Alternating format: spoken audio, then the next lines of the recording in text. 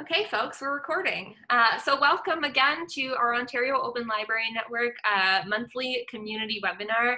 Uh, again, my name is Lillian Hogendoorn. I'm our Digital Access and Open Educational Resources Lead. Um, and these webinars are really about sharing the work that's going on in our community or bringing sort of new ideas, new tools, new perspectives to our community in Ontario. Um, today, we're going to be talking about hypothesis using web annotation in the online classroom. Uh, so we have a number of great panelists here today that you'll get to hear from. First, we've got Jeremy Dean, who's the uh, Director of Education at Hypothesis.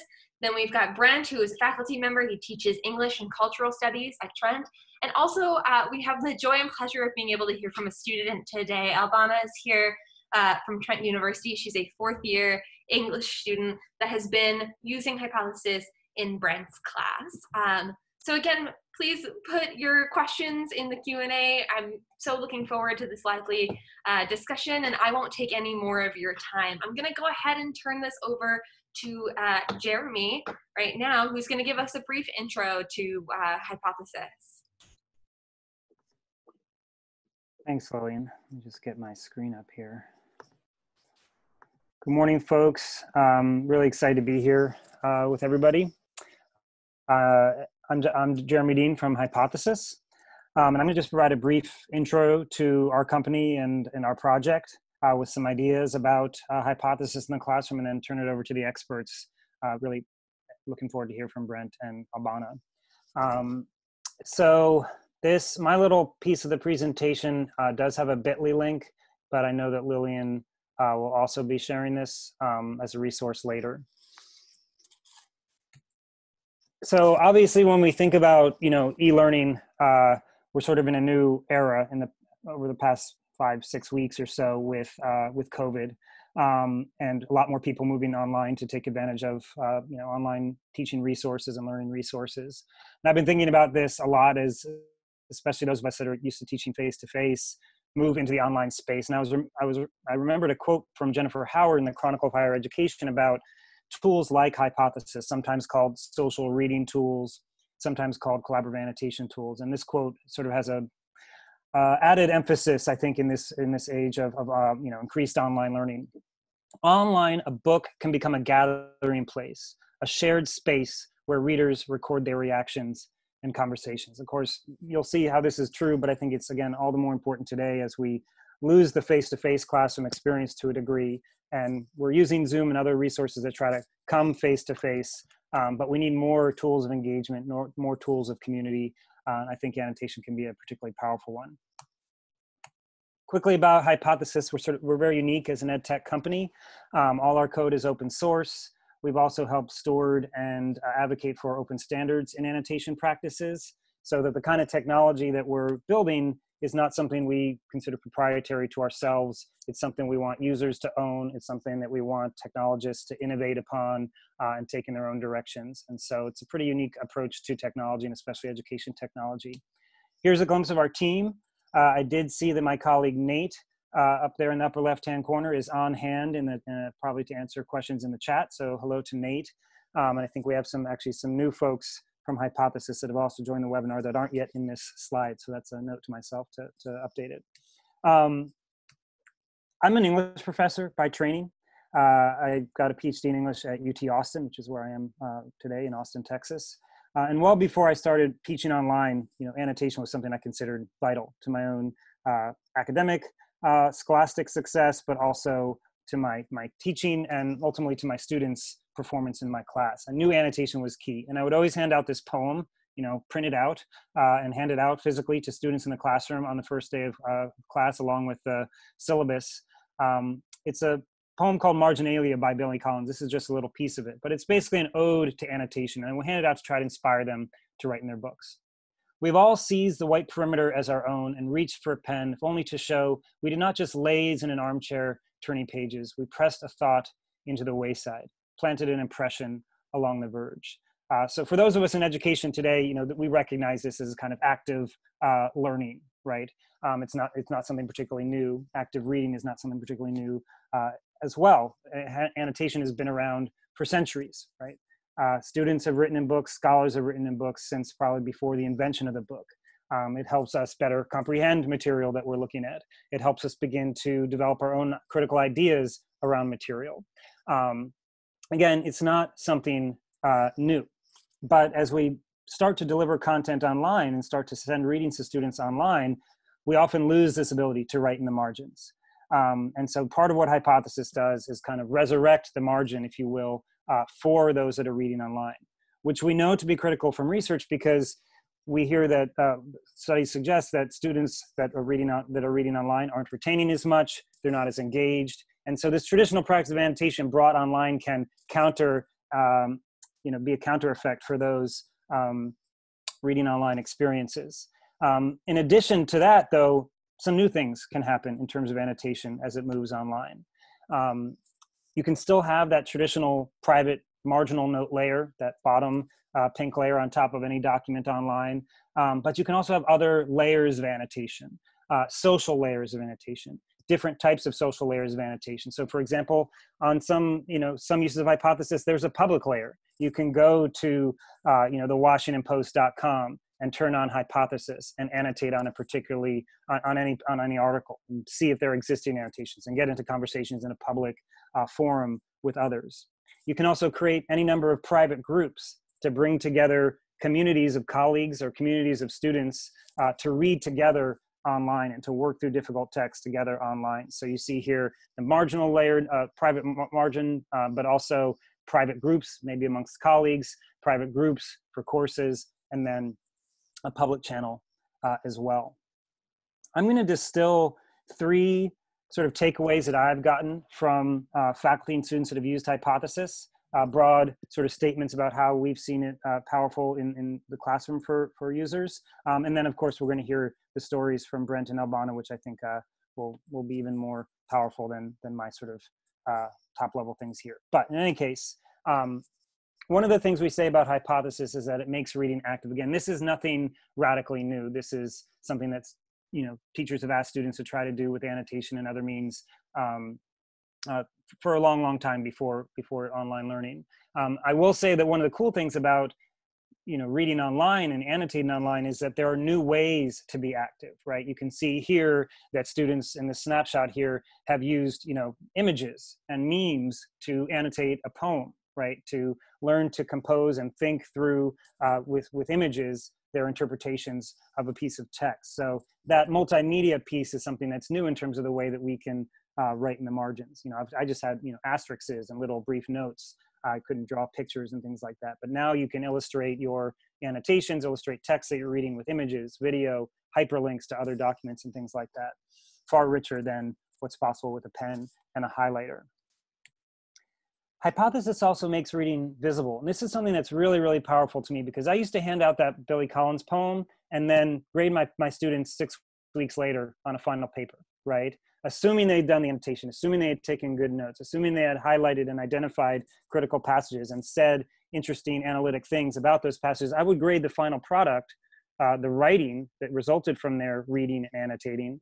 Um, but I never was there for them, never present, never guided them in their annotation practice. I think it's really powerful to make that practice, make reading visible uh, for both instructors and students, and to engage in that early moment of encountering a text. And by the way, it doesn't just have to be an English text, right? I've heard from you know people that are training clinicians in the medical field that close reading, identifying specific important pieces of textual evidence and grounding claims in particular pieces of text is nothing particular to the humanities. This is valuable across uh, high, the curriculum of higher ed. Um, and then finally, hypothesis makes reading social. And I'll be really curious to hear about this from Albana especially, but this is a, one of my favorite quotes from a student that we've that has used hypothesis. Um, hypothesis is my literary Facebook. When I'm reading, I sometimes wonder, does anyone actually understand this? Am I crazy? With this tool, I know I'm not alone. I had this experience when I was in grad school, right? Reading something, you know, weird like Derrida, right? And being like, what is this? It doesn't even seem like English um, in terms of the concepts and the language being used. It would have been so amazing to have classmates there to uh, also express their confusion, but also to share in the unpacking of that uh, difficult text, to you know take turns on glossing it, to collaborate on unpacking a particularly uh, deep and complicated piece of writing together, and not to be alone in that process. So those are some three uh, top level ideas for how hypothesis uh, is powerful for students and teachers. Um, but I, you know, let's hear from the experts uh, in that regard because these folks are coming from the trenches and um, I'm curious to hear their stories. Thank you so much, Jeremy. Uh, that was really uh, enlightening. I, I, and you'll be sharing the link to that presentation as well, correct? So, um, folks, if you're here or uh, if you're watching this, uh, we'll make sure that you have a link to uh, anything shared during the session. Uh, so I'm going to go ahead and turn this over to Brent.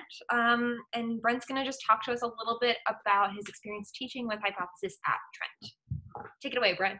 Thanks, Lillian. And I want to thank Jeremy and Albana for being here and all the um, participants in chat. I'm enjoying watching the uh, conversation unfold around whether you annotate your own books or not. I'm certainly in the camp of I write in my books if I own them. Uh, right. So I'm going to give a little bit of background um, behind the course uh, that I am using Hypothesis in at the moment um, and talk a little bit about how I implemented it in um, that course. So about this time last year, I started with the uh, Trent Online Pilot Program um, and working with Maureen Glynn, who's the senior e-learning designer at Trent Online, to take a third year English class literature and globalization and um, redevelop it as an online class. So um, it was uh, this course. I was encouraged by my chair, Hugh Hodges, to think of a course that I could particularly uh, move over to the online setting, um, and an upper year course too, because often students will need that third year credit.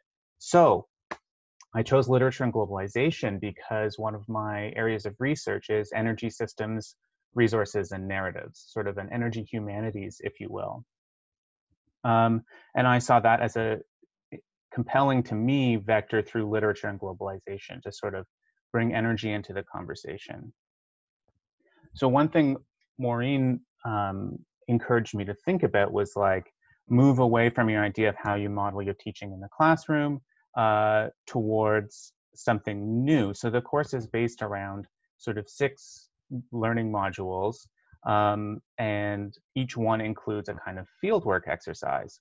So these exercises, for example, um, are to have students take an object that's close to them. So I just have like a little plastic technical pencil uh, and to think about how strange it is that this has petrocarbons in it, that uh, this plastics that it's manufactured somewhere and then shipped to us like start to unpack the history of these objects around us and think about their um, environmental impact and energy impact and that sort of thing. Uh, so this doesn't sound very much like an english class to some people perhaps but uh, the idea through this field work was to move from a reading of the objects around us and their kind of imbrication and energy systems towards uh, literary readings. And so this is where hypothesis um, fits in. It was perfect for this kind of fieldwork exercise where uh, students um, would kind of go away and do some work and then and then write about it and share their experience in a kind of reflection with the class. Um, so the one thing I wanted to mention is uh, we were thinking about how are we going to um, make this work in a class with 90 plus students, having them all sign up for hypothesis might be uh, something some would not be interested in. Some students want to are, are, nervous about uh, third-party apps and this sort of thing. But we were actually able to uh, work with Hypothesis to use the integration with our learning um, management system. And so it meant students wouldn't need to sign up and they could just kind of use it right away. Um, it also allows for uh, this kind of, as Jeremy was pointing out, multiple asynchronous collaborators. So students can kind of pop in and out and make comments at any time. I'm going to come back to this field work uh, in just a moment, but first, the first place we used it was actually to have students mark up the syllabus. So the first exercise in the introduction module was just like, what questions do you have here? Here's this, this uh, instance of the syllabus that you can go to, and students would kind of ask questions and then be able to um, answer one another if someone had sort of figured something out um, and then i would be able to go in and respond as well this was sort of the first thing to sort of have students dip their toes get used to the tool kind of a thing um, the fieldwork activity uh, more specifically built on this idea of uh, fossil fuels uh, and other forms of energy really uh, support our, our ways of life. We're really um, energy creatures these days. Um, but it used hypothesis to have students annotate seven stories that appeared in the Guardian um, that were uh, about oil directly or indirectly. And they were, the assignment was basically to have them um, select a story and leave one to two annotations, as Jeremy kind of showed us, um, interpreting what's going on there, filling in some historical background, just kind of adding that marginalia, right? And they were also encouraged to respond to uh, just one to two um, posts. But then the task was to take to leave those responses on one story and then move to another one in order to um, draw on the kind of commentary there, uh, the marginalia there, to produce their own kind of reading of a story. So, uh, kind of the idea is to um, have it's kind of a layered thing to have them read, uh, to have them formulate and express their own ideas, um, to have them engage and build on other student work, um, and to have them kind of show off how they understand, uh, synthesize, and express this set of thoughts. Um, it's self-directed too. Like students can. Um, the toughest part was for the first couple students who were like, "There's nothing here to respond to yet. How do I complete this now?" It's like, well, you're going to have to leave your notes and check back later, right? uh, the p- other students will get to it, you know, for the first few folks who got there. Um, and and it was amazing when I checked in I, because I hadn't done this before. Like to be candid, this is my first online class that I've taught, um, and I haven't, aside from the kind of pilot program course that Maureen Glynn set up for us uh, to work through. This is the first, I haven't taken an online class either. Um, but I was amazed to check in on this commentary and find these conversations unfolding uh, with a, level, a, a level of um, focus uh, and insight that um, would be like top level seminar feedback or comments from discussion, uh, but in each instance basically. So hypothesis really fit this underlying model for fieldwork, like students could go away, do their research and analysis, and share their reflections. It offers a kind of capacious approach that lets students get out, uh, get out the activity as much as they're willing or able to put into it. So it's it was flexible too. Um, if a student wanted to post the minimum number of comments, that's totally fine. But if they kind of got caught up in it, it would it would yield as much as they were willing to put into it in terms of a kind of um, what they're working through learning. And the bonus is they actually learn how to use a web annotation tool even as they're modeling excellent seminar discussion, right? So there's kind of multiple things going on at once here. Um, I think the fact that they're writing directly in the margins of the short story should not be overlooked, right? I think it elevates the exercise above having students read a story and respond in a blog post, which is basically what the exercise is, um, because they can cross reference their classmates' points against the text itself as they read the story. So it's right there. And I love that image that um, Jeremy put up uh, with the marginalia kind of spreading out. Um, the kind of Talmudic tradition of this commentary on commentary on commentary, right? And there's always more to say. And I, I'm sure I do have more to say, but I'm going to stop there. I'll look forward to the general discussion, and I uh, will maybe turn it over to Lillian to turn it over to Albana, or we can go straight to Albana. I don't want to uh, disrupt we the order of things straight here. to, to Albana. We don't have too much structure here. So, um, Albana, why don't you uh, just give us a little insight into your experience as a, a student in this course? Sure. So, hi everyone. Thank you for allowing me to take part. Thank you, Brent, for inviting me. And um, I think it's interesting just to kind of see the flow of how we've been talking. Because my first point, I like writing notes, was marginalia. I don't know if everybody can see. So, one of the things that I noticed while using this tool is actually, and a kind of cross reference to another course that I took, and we discussed what is a book, right? Like how how can students see themselves developing more with e-learning and also like how can we use online readings to make education more accessible, right? And then one of the first things that a lot of people said is just losing that connection with the book and losing marginalia. And I was thinking about other like writers that we learned about like Bram Stoker and the kind of mythology around his marginalia and how you can find it. So that for me was the first thing that I noticed is it kind of takes it back. It was exciting to look at a lot of the annotated things to see everything marked up.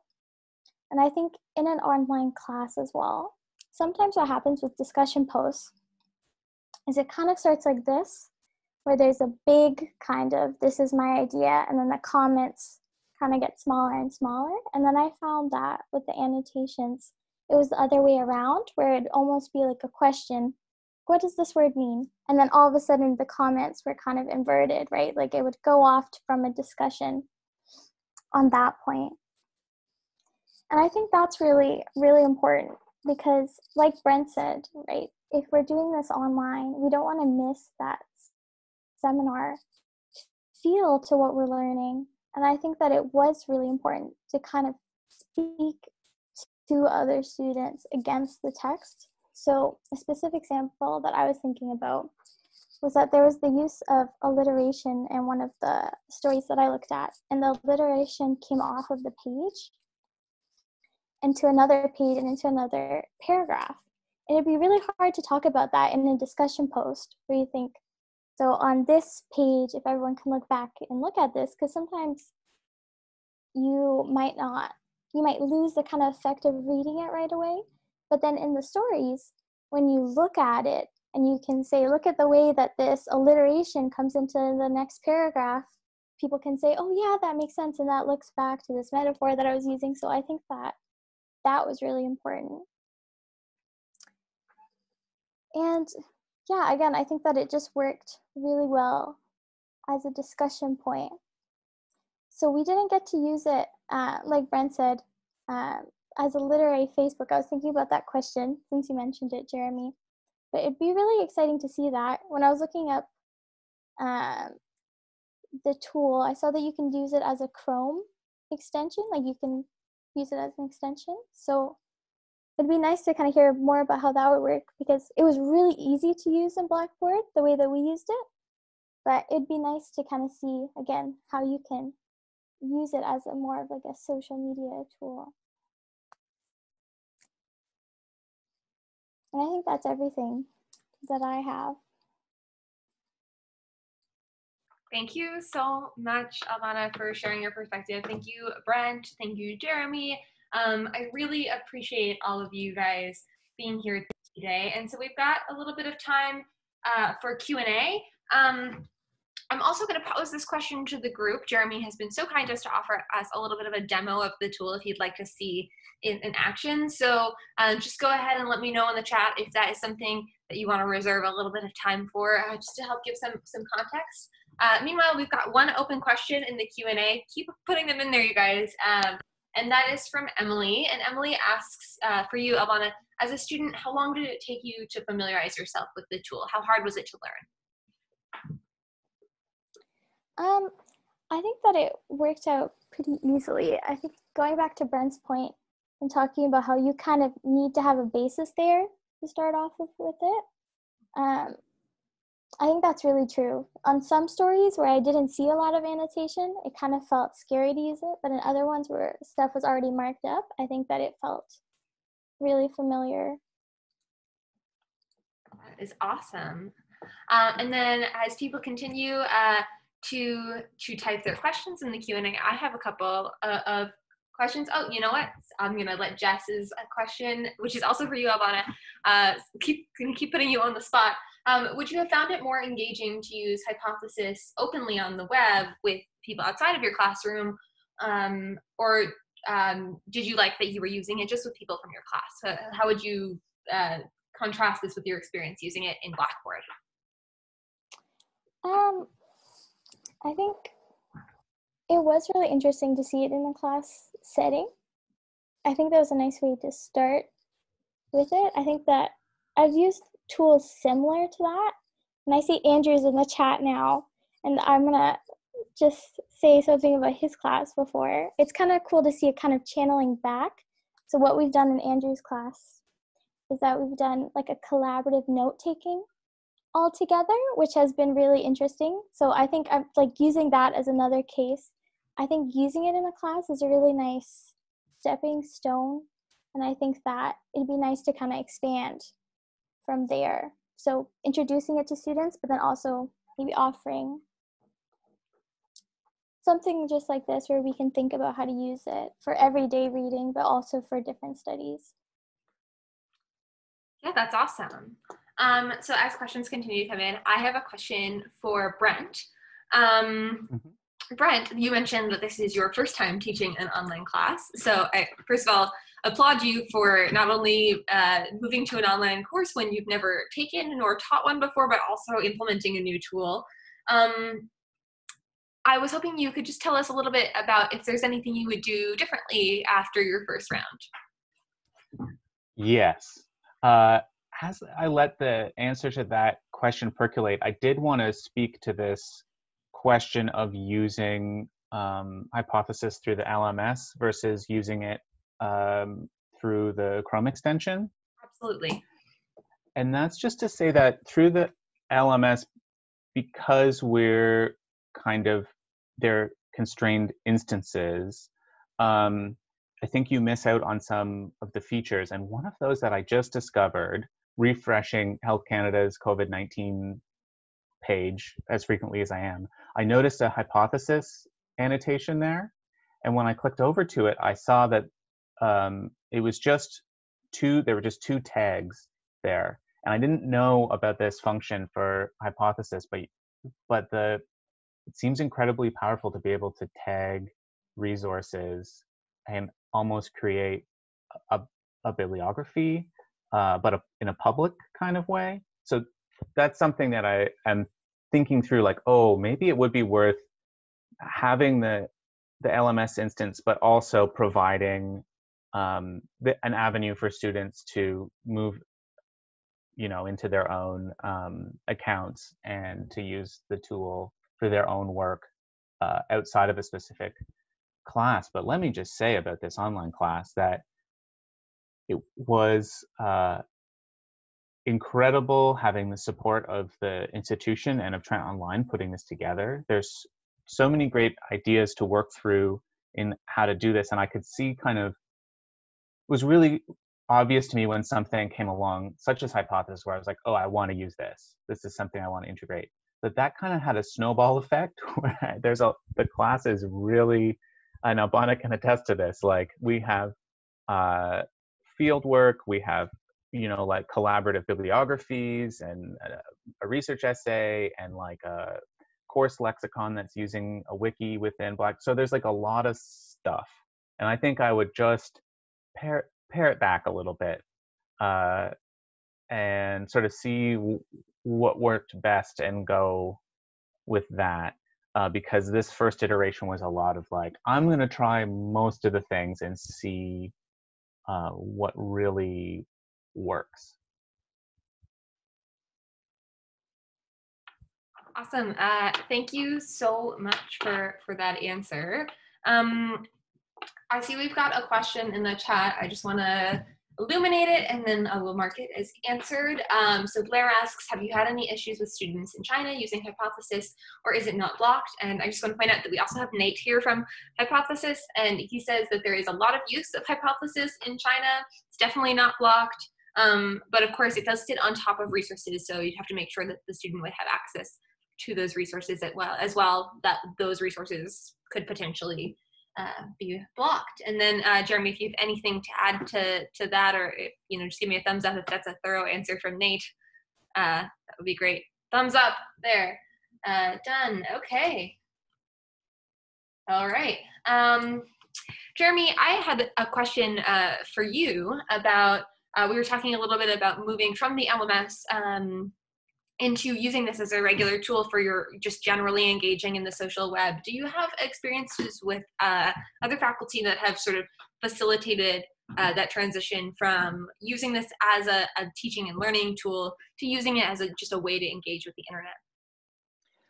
Yeah well i mean i think that's where our origins come from. Um, you know originally we didn't have anything like private groups um, we just had a Chrome extension that allowed people to annotate publicly on the web. And so the initial instructors that were using us um, were having students annotate publicly on the web as part of their courses.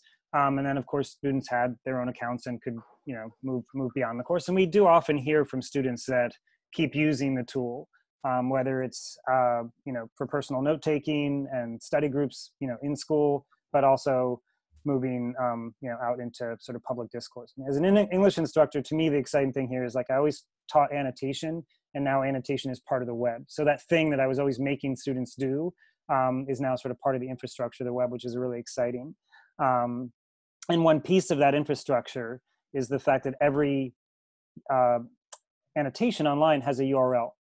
So my my colleague John likes to talk about how if you think about the web as, as a sort of internet information fabric, um, where really the threads are uh, URLs, web pages. Um, annotation increases the thread count of that information quilt or whatever it is. I guess it's not a quilt, it's a knitted blanket or something like that. But it increases the thread count because each of those little annotations can suddenly be pointed to directly. That's a little bit of a side point, but the LMS uh, app is a different tool. Um, and so students in Brent's class have, you know, single sign-on through LTI in the LMS and are able to get started annotating without any account creation or joining a group. There's a private group correlated to the to the class roster. Um, and so Albana's uh, uh, account there will work in other courses at Trent, but that account will not work on the web. So there is right now a division between um, hypothesis accounts created in the LMS and hypothesis accounts used on the web. Now, plenty of teachers are, you know, leverage that single sign-on to get students started with the tool and with the practice of annotation and then say, okay, some later assignments or later activities are going to involve a web account and now you have to sign up yourself. Um, and so people do transition and people do, you know, as it were, uh, push push the students off into the wild of the web with the tool to to continue their annotation practice. But it should be said, you know, it should be clear that right now the LMS is kind of that that application is walled off for security and privacy reasons. Um, and we do want to create a, a, more seamless way for Albana to say, whoa, this cool tool that Brent, you know, my professor introduced me to, I want to take it with me and use beyond Trent, or maybe I transfer universities. Not there's anything wrong with Trent, but you know, people move around between different spaces. Um, or she graduates Trent and wants to go annotate on the web, that she can somehow offload her, bring her annotations with her. And the infrastructure around the way that we've built annotation in our service through a, um, through a uh, standard allows for that to happen quite easily uh, once we get around to that particular pathway for Albana to take her annotations with her and start annotating on the web using the, the browser extension. Sorry for a long-winded answer. no, that's really, really helpful. Um, and I think that might be a really lovely transition into uh, a demo if, if you're ready, or if you need to queue it up, I can ask one more question while you do that. Uh, no, I'm happy to queue it up. Um, so let me just share screens here not only have I gotten things up and running, but I didn't prepare this ahead of time, but I, I normally like to demo with um, poetry uh, since I'm an English professor and poems are small pieces of text. And so I usually like to demo, I'm gonna do it in Moodle. I could also do it in Canvas. I might move back and forth. Again, it's, L, it's LTI compliant, so it works in any, most of that major LMSs, um, D2L Brightspace, Blackboard, uh, Canvas, Instructure Canvas, and, and Moodle, Sakai as well. Uh, Schoology, apparently Blackbaud now as well. I didn't know that there's also a, an LMS called Blackbaud, which just in terms of LMS history, which I'm sure you all are very interested in. Blackbaud preceded Blackboard. I just find it sort of hilarious that there's two sort of BB LMSs. Anyway, side point. Um, here, here's a course in Moodle. Uh, you can see I, I, sort of create these sections for where I'm demoing. And so now we're, um, you know, in Ontario, and I believe the poet Anne Carson um, is from uh, Toronto originally. So I'm going to add a, a, poem by Anne Carson to uh, my course here. So, but otherwise, you know, I can open up a text within the LMS um, and it'll open up the text and then add hypothesis and allow for uh, annotation. Looks like things are a little slow this morning. Um, but there we have the poem. I'm actually taking it from the Poetry Foundation. And then here's a sidebar. So pretend I'm a student, I've come to this reading, a, co a, colleague of mine, a classmate of mine has already started annotating. I can reply to an existing annotation or annotate and create a highlight, which is private, and create annotation, which can be public or private. I can make the annotation just for me, or I can share it with my course, which is Poetry 101. Um, and that's what all of these resources are. They open up to uh, the poem with hypothesis added and students are logged in, creating an account. An account is created for them, they're logged in, they can begin annotating immediately. Um, and let me walk you through the workflow of how that looks. So in, uh, in um, Moodle, I will uh, you know, turn on editing and add an activity or resource. I'll choose type external tool. My friendly neighborhood admin will have already uh, installed Hypothesis uh, for me in my course. So I can just go in and add it here. Um, I can give it a title. Um, hypothesis readings are annotation enabled readings. They can be graded or not graded. And every LMS has the option of just adding annotation to your readings or adding annotations that are then uh, connected to a gradebook uh, uh, line, right? Um, and so that's, I just do that through the LMS right here. I would, uh, let me see where I do this actually. I go to grade and I can say what I want it out of. Um, and I think it's, I have to move between all the different LMSs. So I sometimes get confused about a new play. Oh, it's in privacy. Um, I can say accept grades from the tool, uh, or if I say I don't accept grades, it will just be an annotatable assignment, or sorry, yeah, just an annotatable reading. But if I accept grades, it'll be for grade. Um, and then I can save and return to the course. So I've made this a graded one.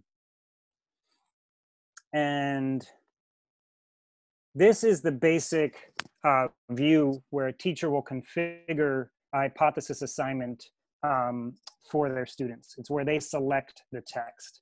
Uh, in Moodle, you have two options. You can either grab a URL or you can grab a PDF from a Google Drive account that you associate. Um, in Canvas, we also have an option to work with the Canvas files, um, and in other LMSs, we'll be bringing this, working with the file system of the, of the LMS itself. Um, but let's just say we want to add that Anne Carson poem. I've already looked it up, and I can grab it here, just the URL, and go back to Moodle, rather back to this page, and click on enter a a URL, pop that in. And now you'll see this is our grade bar that conveniently shows up isolated at first. Um, and now we see the poem and we see the hypothesis sidebar. Of course, there's no annotations yet. Scoped to a group called Poetry 101, which is the name of the course. I'm logged in as, I guess, anonymous in this case. Um, and then I can select text and begin annotating. Now, it should be, just to point out the difference between the LMS integration, if I annotate here,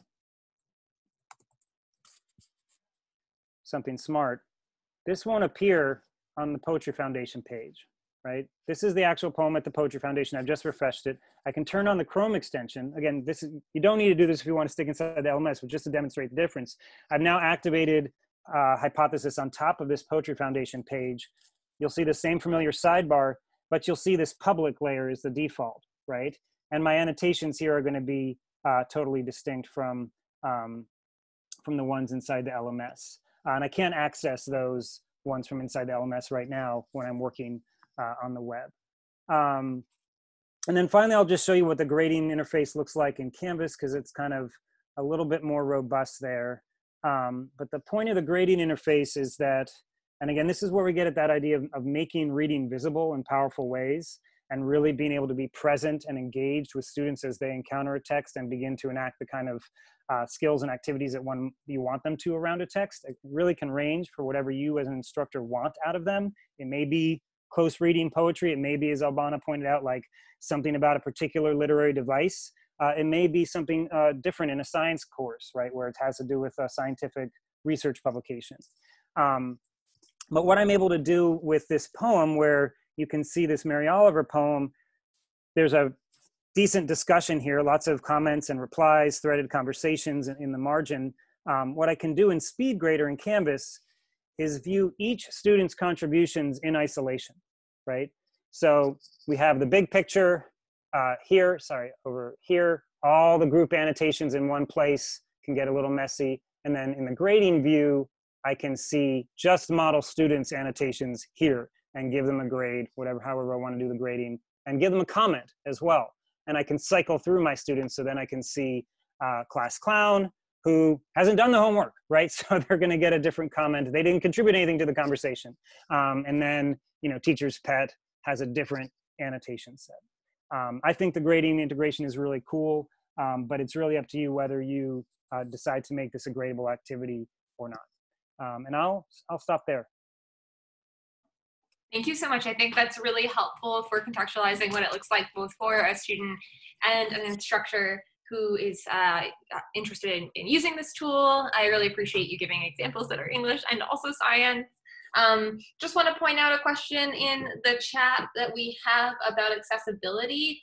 Uh, and Nate has really graciously dropped the link to uh, information about accessibility um, uh, for Hypothesis. The, the short story is that it's WCAG compliant, um, but it's also undergoing an independent review from our, our local team of, of excellent uh, accessibility experts at OCAD U, the folks at the uh, Inclusive Design Research, I want to um, who have who have done a, a lot of product reviews of, of uh, open source technology in the, in the past for uh, voluntary uh, accessibility documents. Um, so hopefully we'll have a sense of how that's AODA compliant pretty pretty soon. Um, but generally, uh, you guys have built a, a, beautiful tool that's quite usable by um, anybody. And I'll mark that as um, answered. And um, I just want uh, to uh, give it one more minute in case there are any other questions. Usually we like to end these about 10 minutes early just to give people time to stretch before their next um, video meeting as it may be right now. Uh, if there are any other questions, feel free to pop them uh, in, in the chat uh, right now. Um, and otherwise, I can start my end of the webinar spiel. um, so I just want to thank you guys again so so much for for being here. Uh, thank you, Brent, for your uh, perspective on teaching. Albana for your perspective on using this as a, as a student, and um, uh, Jeremy for the for the demo. Um, I know that Hypothesis has a lot of interesting stuff going on, so make sure that you guys keep in touch with the team at Hypothesis. Um, yes, it's uh, WCAG compliant currently. Yes, Rob. Um, and um, uh, we'll make sure that we get like tw Twitter handles or whatever uh, kind of contact information that we need. Um, I just also want to mention that these webinars are a part of uh, the Ontario Open Library Network, um, and we are so grateful to, to have such a wonderful network of folks in Ontario uh, librarians, faculty, students, instructional designers, educational technologists that are interested in open educational resources, open uh, educational practices, and open educational tools like Hypothesis. Um, the OOLN community is open to anyone. After this webinar, you'll be taken to a, a link in case you want to join. The collaborative notes are there, Jeremy's presentation is there, and um, in our Slack, we now have a channel as of a few minutes ago the devoted to learning more uh, about hypothesis if you have questions about it or if you want to exchange ideas um, if, about how you might use it in your in your teaching. So there's a just devoted space um, for that. Um, we could not do this without this amazing community of, of people uh, of educators and so we are so so very grateful. Um, and finally um, I'd love if you would save the date for our next community webinar. We do these webinars uh, once a month on the second Tuesday of every month from 12 p.m. to 1 p.m. Eastern Time. Um, and our next webinar is going to be Open in Ontario 2020 2021. Um, so if you're interested in hearing about what our plans are at eCampus Ontario for the coming year uh, related to open education uh, resources, tools, practices, um, tune in. And if you have a project that you're working on in 2020, 2021 that you want to tell us about, we would love to hear from you. Just send uh, me a quick email at open at ecampusontario.ca and let me know uh, so we can try to make this about everybody uh, and all the great work that's going on in, in our province.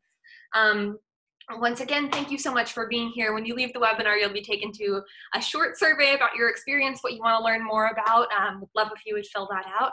Uh, otherwise, uh, we'll see you at the next one. Thank you so much, everybody. Thank you, Jeremy, Albana, and Brent.